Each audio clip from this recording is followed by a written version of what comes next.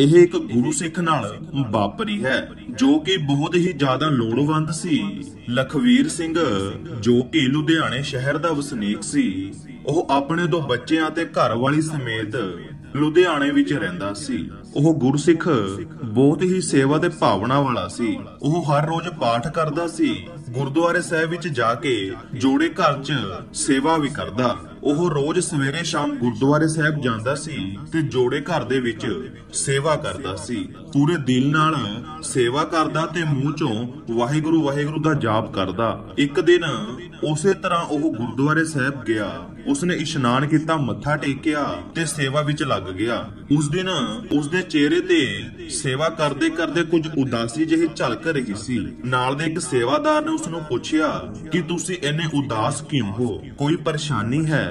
ਉਸ ਤੋਂ ਬਾਅਦ ਉਸ ਗੁਰਸਿੱਖ ਨੇ ਦੱਸਿਆ ਕਿ ਮੇਰੀ ਧੀ ਦਾ ਵਿਆਹ ਤੈਅ ਹੋ ਗਿਆ ਹੈ। ਉਸ ਤੋਂ ਬਾਅਦ ਨਾਲ ਦੇ ਸੇਵਕ ਨੇ ਕਿਹਾ ਕਿ ਇਹ ਤਾਂ ਖੁਸ਼ੀ ਵਾਲੀ ਗੱਲ ਹੈ। ਪਰ ਤੁਸੀਂ ਉਦਾਸ ਬੈਠੇ ਹੋ। ਉਸ ਗੁਰਸਿੱਖ ਨੇ ਕਿਹਾ ਕਿ ਮੇਰੀ ਧੀ ਦਾ ਵਿਆਹ ਅਮੀਰ ਘਰ ਦੇ ਵਿੱਚ ਤੈਅ ਹੋਇਆ ਹੈ। ਇਸ ਲਈ ਉਸ ਨੂੰ ਅਮੀਰ ਘਰ ਦੇ ਹੈਸੀਅਤ ਦੇ ਨਾਲ ਆਪਣੀ ਧੀ ਦਾ ਵਿਆਹ ਕਰਨਾ ਪਵੇਗਾ। ਪਰ ਉਸ ਦੇ ਕੋਲ ਤਾਂ ਪੈਸੇ ਨਹੀਂ। ਤਾਂ ਜੋ ਆਪਣੀ ਧੀ ਦਾ ਵਿਆਹ ਗੱਜ ਵੱਜ ਕੇ ਕਰ ਸਕੇ। ਉਸ ਤੋਂ ਬਾਅਦ ਨਾਲ ਦੇ ਸੇਵਾਦਾਰ ਨੇ ਕਿਹਾ ਕਿ ਤੁਸੀਂ ਫਿਕਰ ਨਾ ਕਰੋ, ਪਰਮਾਤਮਾ ਅੱਗੇ ਸੱਚੇ ਦਿਲੋਂ ਅਰਦਾਸ ਕਰੋ। ਪਰਮਾਤਮਾ ਜ਼ਰੂਰ ਕੋਈ ਨਾ ਕੋਈ ਰਾਹ ਦਿਖਾਵੇਗਾ। ਇੰਨਾ ਕਹਿ ਕੇ ਉਹ ਨਾਲ ਦਾ ਸੇਵਕ ਉਸ ਨੂੰ ਹੌਸਲਾ ਦੇ ਕੇ ਫਿਰ ਸੇਵਾ ਦੇ ਵਿੱਚ ਜੁਟ ਗਿਆ। ਦੂਜੇ ਦਿਨ ਉਹ ਗੁਰਸਿੱਖ ਫਿਰ ਦਰਬਾਰ ਸਾਹਿਬ ਆਇਆ, ਮੱਥਾ ਟੇਕਿਆ ਤੇ ਸੇਵਾ ਦੇ ਵਿੱਚ ਲੱਗ ਗਿਆ।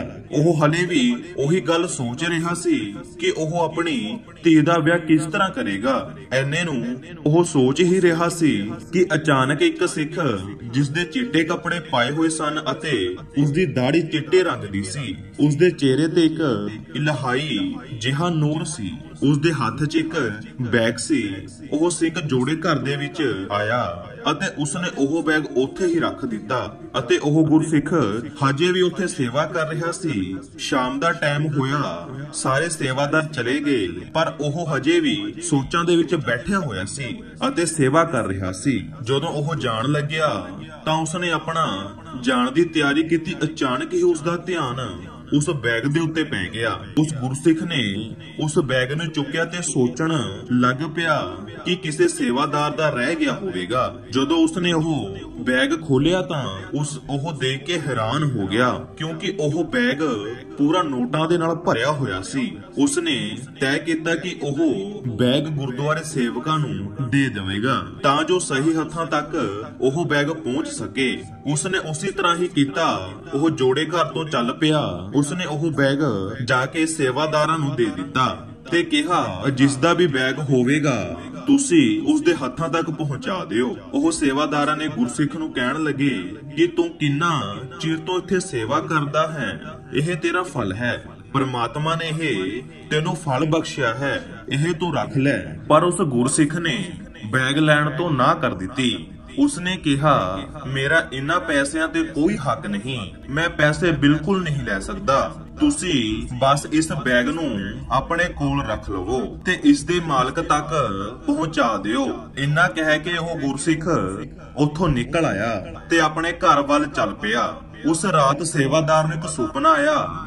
ਸੁਪਨੇ ਵਿੱਚ ਉਹੀ ਸਿੱਖ ਆਇਆ ਜਿਸ ਨੇ ਪਹਿਲਾਂ ਬੈਗ ਰੱਖਿਆ ਸੀ। ਉਸਨੇ ਚਿੱਟੇ ਕੱਪੜੇ ਵਾਲੇ ਸਿੱਖ ਨੇ ਸੇਵਾਦਾਰ ਨੂੰ ਕਿਹਾ ਕਿ ਇਹ ਜੋ ਬੈਗ ਤੁਹਾਡੇ ਕੋਲ ਹੈ, ਇਸ ਨੂੰ ਉਸ ਗੁਰਸਿੱਖ ਤੱਕ ਪਹੁੰਚਾ ਦਿਓ, ਜੋ ਜੋੜੇ ਘਰ ਦੇ ਵਿੱਚ ਕਈ ਸਾਲਾਂ ਤੋਂ ਸੇਵਾ ਕਰ ਰਿਹਾ ਹੈ। ਇਹਨਾਂ ਕਹਿ ਕੇ ਉਹ ਸਿੰਘ ਉਸ ਸੇਵਾਦਾਰਾਂ ਦੇ ਸੁਪਨੇ ਤੋਂ ਚਲਾ ਗਿਆ। ਅਗਲੇ ਦਿਨ ਉਸ ਸੇਵਾਦਾਰ ਨੇ ਉਸ ਸੁਪਨੇ ਬਾਰੇ ਆਪਣੇ ਨਾਲ ਦੇ ਸਾਥੀਆਂ ਨੂੰ ਦੱਸਿਆ ਅਤੇ ਉਹਨਾਂ ਨੇ ਸਲਾਹ ਕੀਤੀ ਕਿ ਆਪਾਂ ਜਾ ਕੇ ਇਹ ਬੈਗ ਨੋਟਾਂ ਨਾਲ ਭਰ ਭਰਿਆ ਹੋਇਆ ਹੈ ਜੋ ਉਸ ਸੇਵਾਦਾਰ ਨੂੰ ਦੇ ਦੇਵਾਂਗੇ, ਜੋ ਕਿ ਕਈ ਸਾਲਾਂ ਤੋਂ ਇੱਥੇ ਸੇਵਾ ਕਰਦਾ ਆ ਰਿਹਾ ਹੈ। ਸਾਰੇ ਉਹ ਸੁਪਨੇ ਬਾਰੇ ਸੁਣ ਕੇ ਹੈਰਾਨ ਰਹਿ ਗਏ ਤੇ ਉਦੋਂ ਹੀ ਉਹ ਸੇਵਾਦਾਰ ਲਖਵਿੰਦਰ ਸਿੰਘ ਦੇ ਘਰ ਚਲੇ ਗਏ ਤੇ ਉਹ ਸੇਵਾਦਾਰ ਉਸ ਦੇ ਘਰ ਪਹੁੰਚ ਗਏ ਅਤੇ ਲਖਵੀਰ ਸਿੰਘ ਨਾਲ ਮੁਲਾਕਾਤ ਕੀਤੀ। ਉਹਨਾਂ ਨੇ ਉਹ ਬੈਗ ਲਖਵੀਰ ਸਿੰਘ ਨੂੰ ਦੇ ਦਿੱਤਾ ਤੇ ਕਿਹਾ, ਇਹ ਬੈਗ ਤੇਰਾ ਹੈ, ਇਹ ਤੇਰੀ ਅਮਾਨਤ ਹੈ, ਤੇਰੀ ਸੇਵਾ ਦਾ ਫਲ ਹੈ। ਅਸੀਂ ਇਸ ਨੂੰ ਗੋਲਖ ਵਿੱਚ ਨਹੀਂ ਪਾ ਸਕਦੇ ਤੇ ਇਹ ਤੈਨੂੰ ਦੇਣ ਆਏ ਹਾਂ। ਇਹ ਸੁਣ ਕੇ ਉਸਨੇ ਪ੍ਰਮਾਤਮਾ ਦਾ ਸ਼ੁਕਰਾਨਾ ਕੀਤਾ।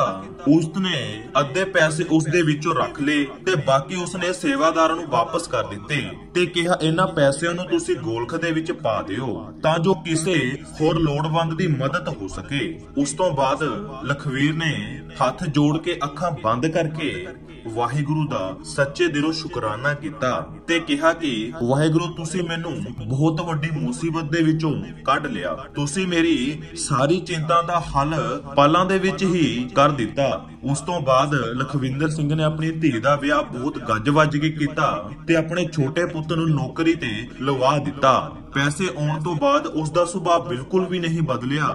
ਉਸੇ ਤਰ੍ਹਾਂ ਉਹ ਹਰ ਰੋਜ਼ ਗੁਰਦੁਆਰੇ ਸਾਹਿਬ ਆਉਂਦਾ ਸੀ, ਇਸ਼ਨਾਨ ਕਰਦਾ, ਮੱਥਾ ਟੇਕਦਾ ਤੇ ਆਪਣੀ ਸੇਵਾ ਦੇ ਵਿੱਚ ਲੱਗ ਜਾਂਦਾ। ਜੇਕਰ ਆਪਾਂ ਕੋਈ ਵੀ ਕੰਮ ਸੱਚੇ ਦਿਲੋਂ ਕਰਦੇ ਹਾਂ, ਚਾਹੇ ਕਿਸੇ ਵੀ ਦੀ ਕੋਈ ਮਦਦ ਕੀਤੀ ਹੋਵੇ, ਚਾਹੇ ਕੋਈ ਕੋਈ ਵੀ ਸੇਵਾ ਕਰਦੀ ਹੋਈਏ ਉਸ ਦਾ ਫਲ ਪਰਮਾਤਮਾ ਜ਼ਰੂਰ ਦਿੰਦਾ ਹੈ। ਜੇਕਰ ਅਸੀਂ ਮੁਸੀਬਤ ਵਿੱਚ ਹੋਈਏ, ਅਸੀਂ ਨਾ ਬੋਲੀਏ, ਤਾਂ ਪ੍ਰਮਾਤਮਾ ਫਿਰ ਵੀ ਜਾਣੀ ਜਾਣ ਹੈ। ਉਹ ਸਭ ਕੁਝ ਜਾਣਦਾ ਹੈ। ਇਸ ਤਰ੍ਹਾਂ ਦੀ ਵੀਡੀਓ ਦੇਖਣ ਦੇ ਲਈ ਸਾਡੇ ਚੈਨਲ ਨੂੰ ਸਬਸਕ੍ਰਾਈਬ ਕਰ ਲਵੋ।